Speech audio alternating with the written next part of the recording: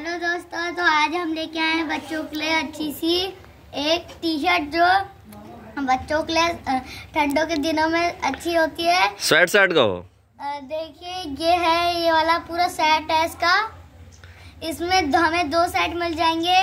सस्ती रेट में और बहुत अच्छी है बहुत गर्मी के लिए बहुत अच्छा है बच्चों के लिए। गर्मी के लिए नहीं जाड़ों के लिए? हाँ के और बच्चे को जब गर्म मतलब ठंडी लगेगी तो आप इसको पहना सकते हैं।